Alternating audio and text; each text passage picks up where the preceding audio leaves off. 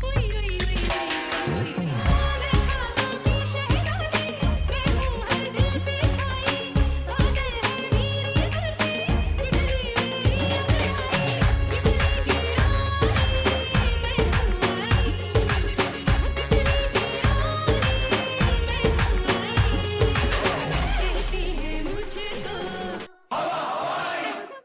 है एक नई नवेली चकोर जो डांस करती है, जो मॉडर्न है, जो स्टाइलिश है, जो आज़ाद गंज की छोरी नहीं, बल्कि है शहर की कुड़ी।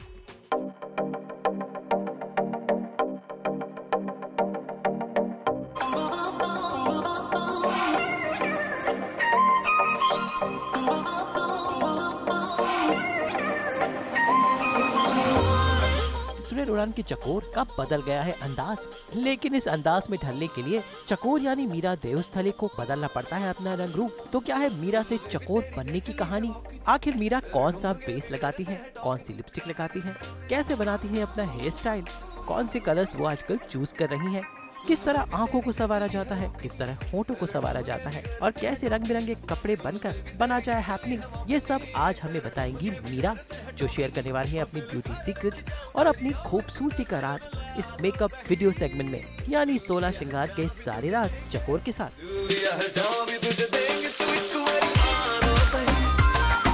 लेकिन इसके लिए हमें सबसे पहले चकोर को बिना मेकअप के उनके सेट पर कैच करना होगा। हूँ चकोर, यानी कि आप सबकी मीरा। तो आज आपने मुझे देखा है लीप के बाद के मेरे इस नए अवतार में। पर इस अवतार में मैं आई कैसे? इसके लिए हम चलते थोड़े से फ्लैशबैक में। साजो बेटिया जब पहुँचा सीरियल उड़ान के सेट पर तो मीरा थी बिना मेकअप के, यानी अपने रियल सेल्फ पे। न चेहरे पर कोई बेस, बिखरे बिखरे बाल, लेकिन अब होगा उनका मेकओवर शुरू। तो क्या होता है? मेकअप रूम में घुसते ही उनका स्टेप नंबर वन हाय मैं हूँ मीरा यानी कि आप सबकी चकोर। तो आज सास बहू और बेटियाँ के साथ मैं करने जा रही हूँ सेगमेंट 16 श्रृंगार। और इसमें हम थोड़े डिटेल में जाएँगे कि मैं मीरा से चकोर कैसे बनती हूँ। सो so, आज मैं आपको बताऊँगी कि मैं अपने मेकअप में क्या क्या यूज़ करती हूँ मेकअप कैसे होता है मेरा। मेरे बाल किस तरह से बनते हैं और फिर मैं आपके सामने चकोर बन के आऊँगी।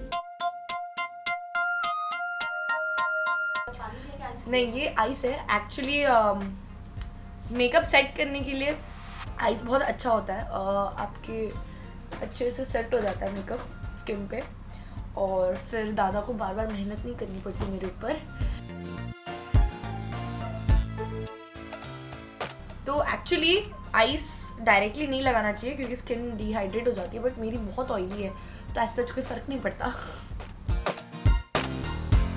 उसके बाद में sunscreen is a must and primer is a must because वो आपके स्किन के अंदर मेकअप नहीं जाने देता।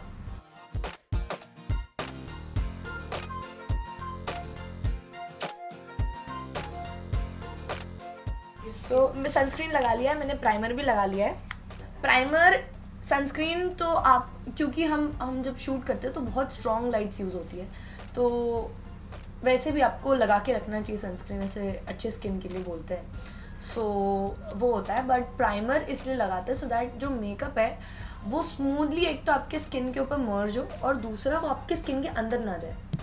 जैसे जैसे मेरी एक्ने प्रोन स्किन है मुझे पिंपल्स आते हैं तो पोर्स भी आते हैं तो पोर्स के अंदर एंटर हो गया तो स्किन और डैमेज होती है। चेहरे पर आइस सनस्क्रीन और प्राइमर लगाने के बाद अब शुरू हुआ चकोर का आई मेकअप जिसके पहले सबसे पहले उनके आँखों पर बेस लगाया गया।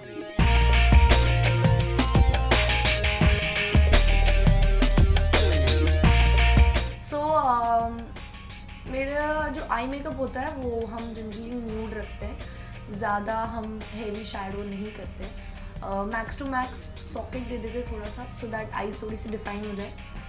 और हाफ़ लाइनर करते हैं। बस, और कुछ नहीं करते। तो मेरा आई शेडो होता है लैक्मे एब्सोलूट का। अ, हम दूसरे भी यूज़ कर लेते हैं कभी कभी मेबलिन वगैरह या वडेवर जो सूट करता है बट मुझे मेजरली लैक्मे सूट करता है तो मैं लैक्मे यूज़ करती हूँ। It's a lot of things depend on the eye makeup उससे आपकी एज बढ़ सकती है कम हो सकती है सारी चीज़ें होती है।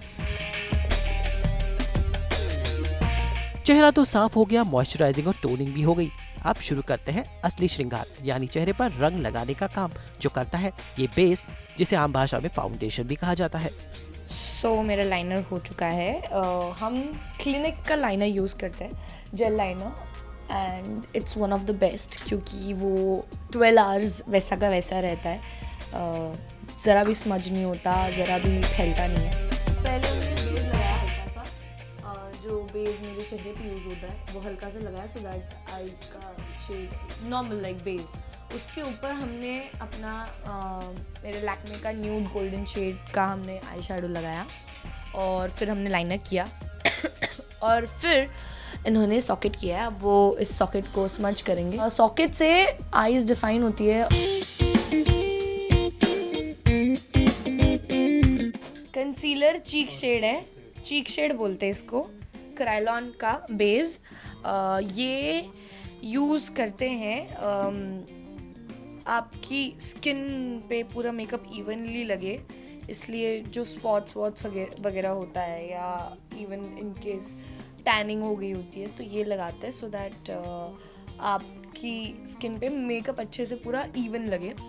हाँ ये बेस से पहले लगाते हैं। अभी दादा लगा रहे हैं मैक का कंसीलर जो बहुत ही अच्छा है a must try you know like अगर आपको स्पॉट्स है या पिंपल्स है और आप सिर्फ़ ये लगाओ और उसके ऊपर हल्का सा आपका जो भी फाउंडेशन घर पे भी लगा लो तो आ, ये बहुत लास्ट करता है स्किन पे ये हटता नहीं है और ये बहुत अच्छे से आपकी पूरी स्किन इसे इवन कर देता है. ये जो कंसीलर होते हैं वो जनरली आपके स्किन टोन से डार्क होते हैं. आप हमेशा एक डार्कर शेड यूज़ करते हो। कई लोग जो आप नीग्रो नीग्रो ना? नीग्रो हम्म। शेड भी लगाते हैं मुँह पे। देखिए पैकिंग कैसे हो रही है। इसे पैकिंग मतलब एक होता है सिंपल सा चोटी बना दो। जा ताकि जो विकी क्लिप्स है वो आपके चोटी में सेट हो और अच्छे से हाँ बाल खींचे नहीं और गिरे नहीं। लाइक नॉर्मल सागर चोटी होती है, जिसको पूरा अच्छे तरीके से चोटी गुन के रबर लगा के पैक कर देते हैं। ताकि जब विग सेट हो तो क्लिप्स अच्छे से बैठे और इनके खुद के ओरिजिनल बाल खींचे नहीं और टूटे नहीं। तो जैसे कि आप देख सकते हैं, मेरे चेहरे का रंग मेरे गले से अब काला हो गया है डार्क हो गया है। अब दादा बेस लगाएँगे। इन्होंने शुरू कर दिया है। इनका आधा वक्त मेरे चेहरे का ऑयल एक्स्ट्रा ऑयल ग्लो यही सब हटाने में जाता है। मेकअप और बाल करके चकोर बनने का ये प्रोसेस में आप बीच बीच में ऐसे क्लिप्स और ऐसे मेकअप के साथ आधे मेकअप के साथ फ़नी भी लगते हो। तो प्लीज़ डोंट जज मी सो अभी um, ये क्रायन का बेस लग रहा है मेरे चेहरे पर। uh, दो टोन्स मिक्स होते हैं क्योंकि मैं गोरी भी नहीं हूँ और सावली भी नहीं हूँ बीच की हूँ। तो 26 और 28 टोन यूज़ होता है मेरे ऊपर। सो so, जैसा कि आप सब देख सकते हैं मेरी पैकिंग हो गई है बालों की। और मेरे लिए आई थिंक सबसे इंपॉर्टेंट चीज़ मेरे वो है मेरे बाल। तो मैं अपने बालों को कोई नुकसान नहीं होने देती कभी भी। ना काटने देती हूँ ना नुकसान होने देती हूँ। जो बेस के पहले का प्रोसीजर होता है आई मेकअप और कंसीलिंग और ये सारी चीज़ें वो हम समझ सकते कि 10-15 मिनट का होता होगा मेरा। उसके बाद 10 मिनट का बेस होता है और उसके बाद पाँच मिनट में पाउडर और ब्लश ऑन और ये सारी चीज़ें लगती है। तो ऐसे मेरा मेकअप 45 मिनट्स में 45 मिनट्स नहीं, कम इनफैक्ट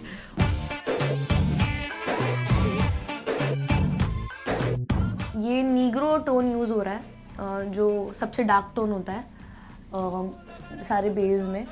तो ये टोन यूज़ हो रहा है ताकि आपके फेस का जो कट है लाइक जो गाल है वो थोड़े से अच्छे से शेप में लगे। नाक होती है तो नाक के जब एक बेस लगा देते तो सब कुछ एक इवन सा लगता है। तो काउंटरिंग इसीलिए इंपॉर्टेंट है सो दैट यू नो आपके फेस के फीचर्स हाईलाइट हो। uh, जैसे कि अभी ये पूरा मर्ज कर देंगे और मिक्स कर लेंगे उसके बाद मेरी नोज़ का एक पर्टिकुलर शेप दिखेगा आपको।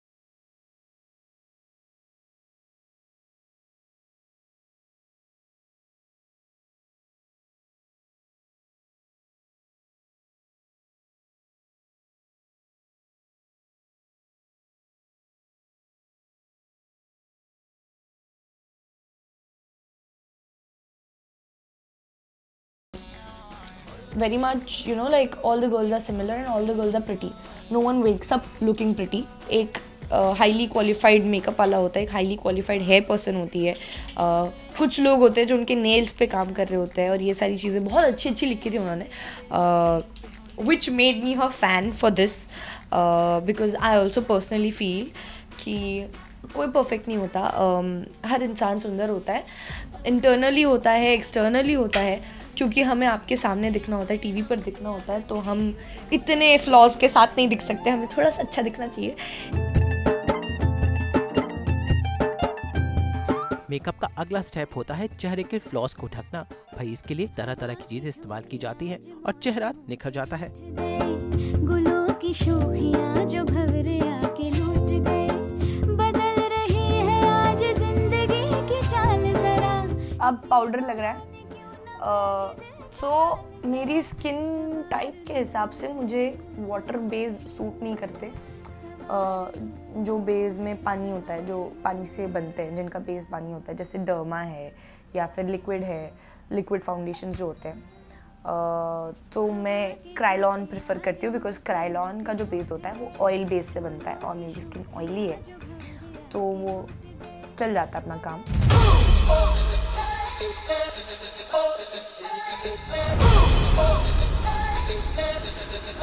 पाउडर इसीलिए लगाते हैं। सेटिंग पाउडर बोलते हैं इसे ताकि आपके फेस पे जो जो, बेस लगा है वो अच्छे से सेट हो जाए और वो हिले नहीं।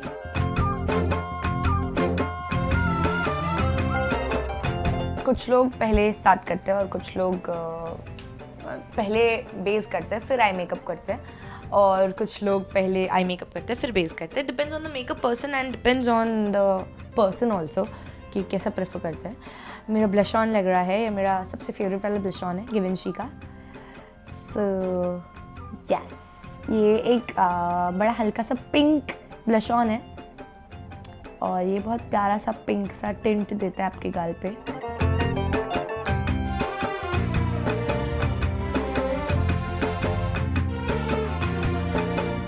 बताना भूल गई। मेरे आईब्रोज जो है बड़े सही है। They very thick nice eyebrows तो मेरे को ना ज़्यादा मेहनत नहीं करनी पड़ती आईब्रोज पे। मैं बिल्कुल ही नहीं करती इनफैक्ट मुझे फिलिंग नहीं करनी पड़ती आईब्रोज पे। मुझे बस जो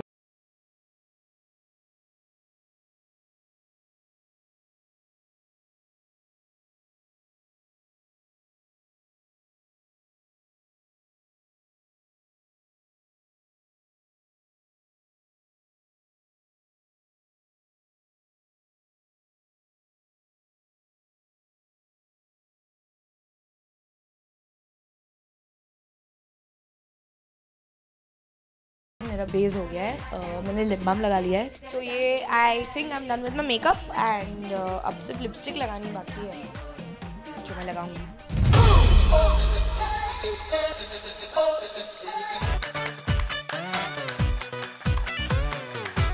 तो लिपस्टिक्स मैं या तो कलर बार की यूज़ करती हूँ या फिर मैक की यूज़ करती हूँ।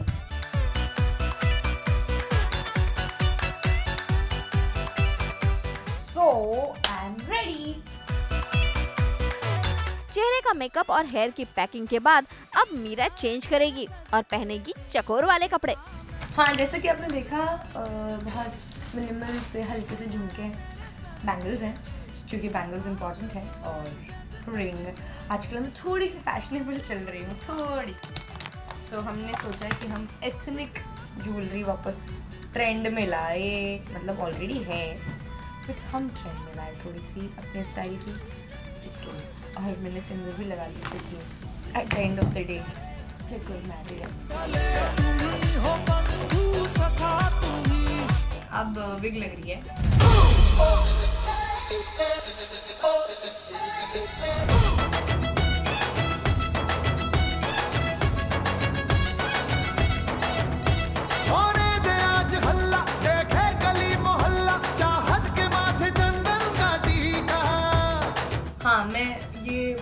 डालती हूँ पार्टीशन फिर विग लगती है फिर हम एक्चुअल पार्टीशन निकालते हैं जो है।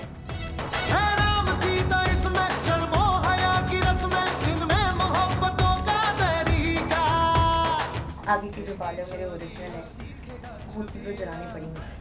तो तो ये जैसा कि आपने देखा फिर बाल रेडी हो गए। और अब क्योंकि बाहर अफरा तफरी मच गई है कि शूट स्टार्ट करना है तो मैं जल्दी से जाती हूँ। अब मुझे बस फुटवेयर पहनना बाकी है अदरवाइज़ जैसा कि आप सब देख सकते हैं, मीरा से अब मैं चकोर बन गई हूँ। चकोर बनकर मीरा पहुँची अपने सेट पर और यहाँ पर बताया कि कैसे लीप के बाद चकोर का लुक हो गया है थोड़ा क्लासी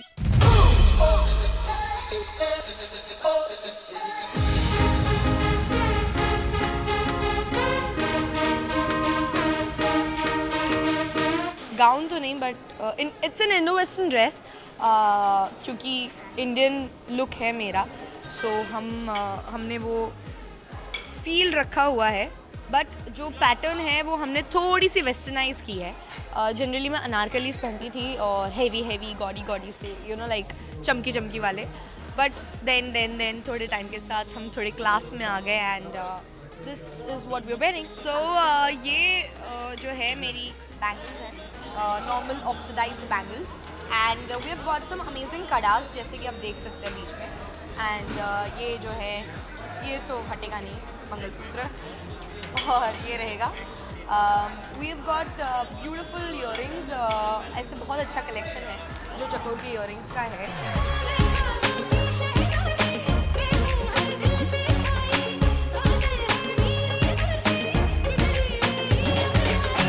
अनुपमा कुमार मुंबई आज तक।